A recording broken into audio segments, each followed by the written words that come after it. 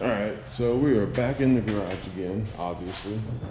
But today we are going to be running wires and installing boxes so that we can have power run through the way it should be versus hooked up over into a generator. Even if we have to now run an extension cord from the house, one side into the box, and then get power that way, right now, until I get all the other rest of the pieces of equipment, at least I'll have lights and power so that I can uh, do a little few more things. But it's not a requirement for me to be able to do all the work. It's a heck of a convenience. And if you have the garage to do it, why not, right? All right, probably not perfect, but it'll definitely work. Lined it up here so that I could run the wire through this channel behind the behind the legs and everything. And yeah, so I have a ton of these screws left over from when they built the garage. Yep, puppies found their spot. Uh, yes, about a lot of them. Don't know how many, but they're left over. They will work. I don't care.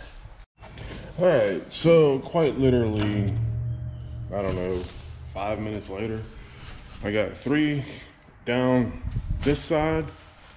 I got one, two, and three down there. And I got one and two on the back one. The reason I have basically, well, this one right here is gonna be power for this table here. Obviously, it can gain, I can put it here, plug it into there, um, and then plug into there if I want to, but mainly this is right here.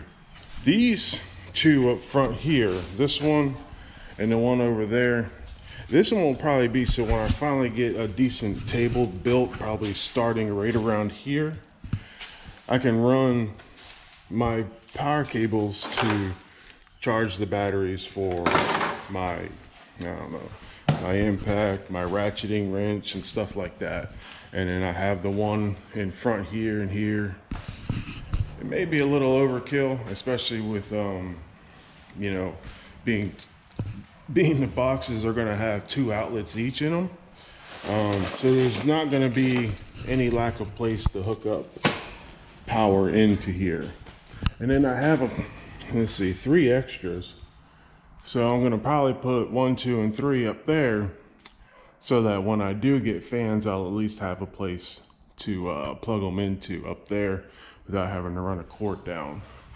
And then something about this one here we will end up changing and probably going ahead and putting a box over there or take that one and plug it into one of the boxes that's going into a fan or something up top here. So that's the idea. and here I thought I really needed to measure these boxes because I just used the body of the, the panel. So I can easily run the wire through the chamber, through here, behind here, and feed it through here as needed. That is because so when I do finally get to the point to where I want to insulate this, at least I don't have to worry about it having a small bulge out from where the wire runs when it can just run right behind here and be left alone from the insulation. Up top there, I'm gonna probably spray foam it, but I'm not in any hurry to do so. You know, right now, I just wanna get certain things done so that I have light and power to do other things. So now, what we're going to do is run this stuff right here. Get started, get it started, and then start, you know, not only the light switch, but the outlets.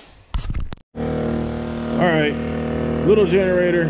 She is running her head off. Only a thousand watts. Uh, used it for when I was when I would fly airplanes out of my field so I could charge the batteries. But as we can see, it lights up in here nicely. Have a little bit of a dark spot in this area right here. So I may go ahead and put one more light right there eventually. But right now, everywhere in the here is nice and lit up, making it a lot easier to work on stuff. And the projects have been building up, so I need to hurry up and get this one done so I can get started back on old girl here. And before I forget, this is why we came back into the shop last night. My wife wanted a place to put all these placards we've gotten from the flying events that we've gone to. And then she's sublimated this one, this one, and this one herself. So we kind of have, you know, eh, I mean, you will see it. Mostly this door will probably be open, but it's here. If I want to close the door and the weather gets bad, I can sit there and look at myself in the mirror. And then, uh, yeah, so she made those. And then we bought, these are ones we got from when we went flying. And then hopefully more to fill out this empty area of the door too. And one thing we'll be doing, yeah, I shut all the power off, got tired of listening to the generator. All those light spots right there in all the corners and there's some up on the top up here. I'm gonna go ahead and fill those in with uh, spray foam. Um, I have it here somewhere.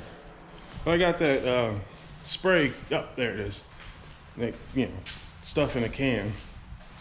Be more than enough to go ahead and seal up those gaps so that no little critters decide they want to fly through or make their way into here and also keep it as airtight as possible so that the weather inside and outside kind of stays the same.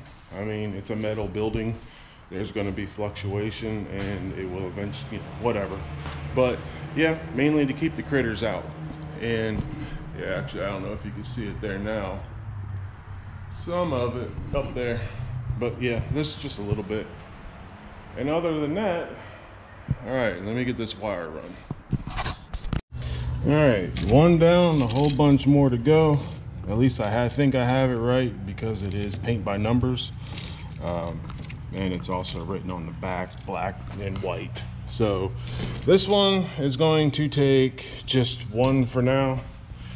I got the cable all run. I'm gonna cut it here and then put one here, and then obviously jump it over to this one and then right to the next one and then all the way around we go. No use in me videotaping this process because I'm not good at it. I'm just doing the best I know how and then I'm gonna have somebody who knows about this stuff check my work make sure I'm okay. Smart. Sometimes. All right well I'm sure the light on the GoPro will show a lot better but it's dark and I don't feel like listening to a generator uh, while I finish up the last two, last outlet. I think I'm on one left. Nope, last two outlets, this one and this one. Everything else all the way around is done.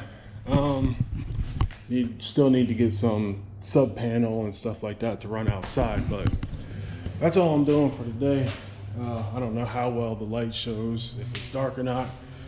But I am signing off for today. Tomorrow I will be finishing up those two outlets and then I will have to make a cable that goes between the generator and the outlet to at least provide power to the outlets to test them. We'll see how that goes tomorrow. Until then, thanks for watching. Talk to you later.